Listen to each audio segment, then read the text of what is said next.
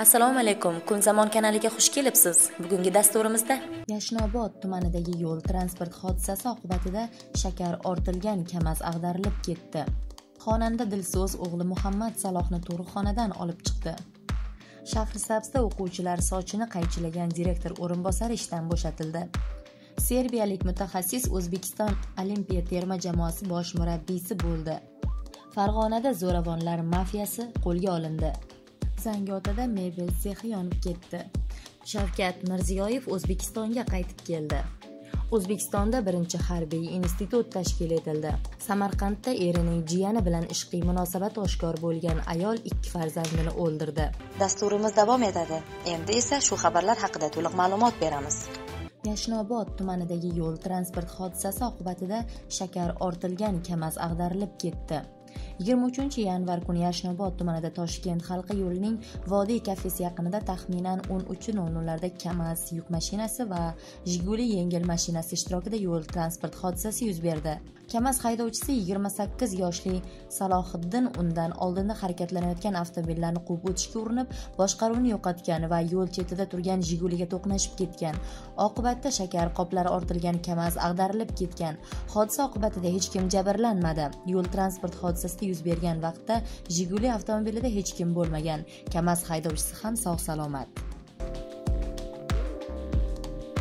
xonanda dilso'z o'g'li muhammad salohni tug'ruqxonadan olib chiqdi. 14 yanvar kuni o'g'il farzandni dunyoga keltirgan xonanda dilso'z instagramdagi shaxsiy sahifasida chaqaloqni tug'ruqxonadan olib chiqish shodiyonasidan fotosuratlar bilan bo'lishdi. Xonandaning ikki nafar qiz farzandi bo'lib yangi kelgan mehmon o'g'il farzandga muhammad saloh deb ism qo'yildi. Shahrisabzda o'quvchilar sochini qaychilagan direktor o'rinbosari ishdan bo'shatildi. Shahrisabz shahridagi yettinchi umumta'lim maktabi direktorining ma'naviy ma'rifiy ishlar bo'yicha o'rinbosari shahboz islomovning o'quvchilarga do'stona munosabati o'g'il bolalar sochini qaychilagani xususida xabar berilgan edi. Ushbu maqoladan so'ng shahrisabz shahar xalq ta'lim bo'limi mudiri bahodir ro'ziyev jurnalist otabek qo'ldoshevga qo'ng'iroq qilib voqea qahramoni o'z xohishiga ko'ra ishdan bo'shatilganligini ma'lum qilgan. Ammo masalaning e'tiborli jihati xodimning o'z arizasiga muvofiq ishdan bo'shatilishi yigirma ikkinchi yanvar kuni ro'y beryapti. Bo'lim mudiri bilan yigirma ikkinchi yanvar kungi suhbatda mudir xodim ishdan bo'shatilganligi xususida lom mim ham demagan. Xodimga hayfsan berganimizdan so'ng o'zi ariza yozib ishdan bo'shashini ma'lum qildi deydi xalq ta'lim bo'lim mudiri bahodir ro'ziyev. Shundan so'ng xodim o'z arizasiga muvofiq ishdan bo'shatildi. Mudirning qo'shimcha qilishicha direktor o'rinbosaridan tashqari sakkizinchi va to'qqizinchi sinf rahbarlariga ham hayfsan berilgan. Serbiyalik mutaxassis o'zbekiston olimpiya terma jamoasi bosh murabbiysi bo'ldi. Yigirma uchinchi yanvar kuni milliy olimpiya qo'mitasida serbiyalik murabbiy lyubinko drulovich bilan rasman shartnoma imzolash marosimi tashkil qilindi. U o'zbekiston olimpiya terma jamoasi bosh murabbiyi sifatida ish boshlaydi. Marosimda o'zbekiston milliy olimpiya qo'mitasi prezidenti va o'zbekiston futbol assotsiatsiyasining birinchi vitse prezidenti umid ahmadjonov mutaxassisga omad tiladi. O'z navbatida serbiyalik murabbiy bildirilgan ishonch uchun minnatdorchilik bildirdi va oldiga qo'yilayotgan vazifani bajarish uchun astoydil mehnat qilishini ta'kidladi. Avvalambor menga bildirilayotgan ishonch uchun o'zim va yordamchilarim nomidan rahmat aytaman. Biz birgalikda harakat qilib tokio olimpiadasiga bora olamiz. Umid qilamanki hamkorligimiz samarali bo'ladi degan drulovich shundan so'ng tomonlar rasman shartnoma imzoladi. Marosim yakunida murabbiy uchun esdalik libosi taqdim etildi. Yangi murabbiy bilan kelishuv tokio 2020 sportchi tokio 2020 olimpiadasiga qadar amal qiladi. Ma'lumot uchun lyubinko drulovichning eng katta yutug'i serbiya u 19 terma jamoasi bilan yevropa chempionatida g'oliblikka erishgan.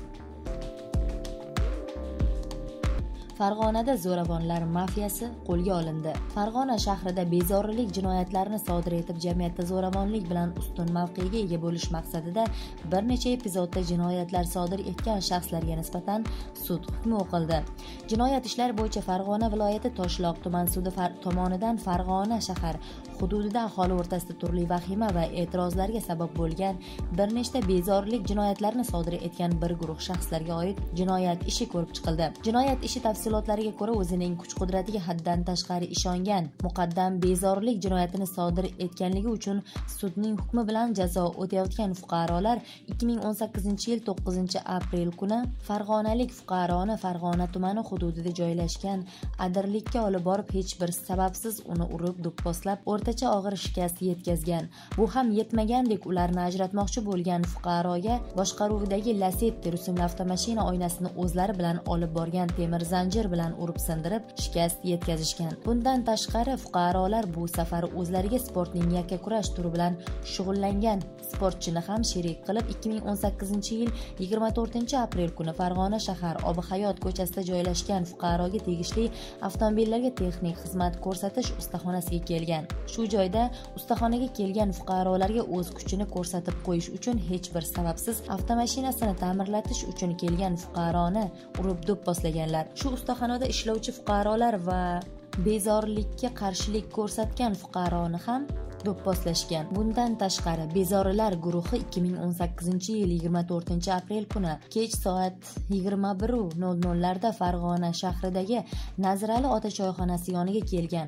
Shu yerda ularga fuqaro turg'un g'aniyevga qarashli avtomobillarga texnik xizmat ko'rsatish shoxobchasida ilgari bo'lgan janjal bo'yicha kelishtirib qo'yish va kelgusi janjallarni oldini olish yuzasidan gapirayotgan paytda uni ham hech bir sababsiz urib do'pposlagan bundan tashqari ular pichoq va boshqa temir jismlar bilan qurollanib 2018 yil 24 iyun kuni soat 22 larda farg'ona shahar yurtparvar ko'chasidagi 10 uy oldidan yurib borayotgan fuqarodan avtomashinaga chiqishini talab talab qilgan. Shu vaqtda ular oldingi oldiga kelgan fuqaroni hech bir sababsiz urib unga ham tan jarohati yetkazgan. Jinoyat ishlari bo'yicha farg'ona viloyati toshloq tumani sudining hukmi bilan bir guruh bezorilarga yuqoridagi jinoyatlarni sodir etishda aybli deb topilib ularga nisbatan turli moddalarga ozodlikdan mahrum etish jazosi tayinlandi. Zangiotada mebel sexi yonib ketdi. 2019 yil 23 yanvar kuni toshkent viloyati zangiota tumani namuna mahallasida joylashgan yakka tartibdagi tadbirkorga tegishli mebel ishlab chiqarish sexida yong'in sodir bo'ldi. Yong'in oqibatida mebel ishlab chiqarish sexining 150 kvadrat metr maydonida tom qismi shifti va ichki jihozlari yonib zararlangan. Yong'indan tan jarohati olganlar yo'q. Yong'inni bartaraf etishga oltita yong'in o'chirish ekipajlari jalb etilgan. Ko'rilgan tezkor harakatlar natijasida yong'indan sexning bir yuz ellik kvadrat metr maydoni saqlab qolingan. Yong'inni kelib chiqish sababi va moddiy zarar miqdori aniqlanmoqda. Shavkat mirziyoyev o'zbekistonga qaytib keldi. Joriy yilning yigirmanchi yanvar kuni o'zbekiston respublikasi prezidenti shavkat mirziyoyev rasmiy tashrif bilan germaniya federativ respublikasiga jo'nab ketgan edi. Davlat rahbari yigirma uchinchi yanvar kuni o'zbekistonga qaytib keldi. Yigirma birinchi yanvar kuni belvyu saroyida o'zbekiston respublikasi prezidenti shavkat mirziyoyevni germaniya federativ respublikasi prezidenti frank valter shtaynmayer kutib oldi. Oliy martabali mehmonni rasmiy kutib olish marosimi bo'ldi. Bo'ldi prezidentimiz sharafiga faxriy qorovul saf tortdi. O'zbekiston va germaniya davlat madhiyalari yangradi. Prezidentlar faxriy qorovul safi oldidan o'tdi. Muzokara avvalida shavkat mirziyoyev frank valter shtaynmayerni joriy yilning may oyida nishonlanadigan germaniya federativ respublikasi tashkil topganining yetmish yilligi bilan tabrikladi. Shu kuni o'zbekiston respublikasi prezidenti shavkat mirziyoyev va germaniya federal kansleri angela merkelning muzokaralari oldidan ommaviy axborot vositalari idoralari vakillari uchun brifing o'tkazildi. Brifingdan so'ng prezident shavkat mirziyoyev germaniya federal kansleri angela merkel bilan muzokara o'tkazdi. Tashrif doirasida iqtisodiyot savdo moliya ta'lim ilm fan va innovatsiya sohalariga oid hukumatlar aro va idoralar aro to'qqizta hujjat imzolandi. Yigirma ikkinchi yanvar kuni o'zbekiston prezidenti shavkat mirziyoyev myunxen shahrida bavariya bosh vaziri markus zioder bilan uchrashdi. Uchrashuvda ikki tomonlama hamkorlikni yanada rivojlantirish istiqbollariga oid masalalar muhokama etildi.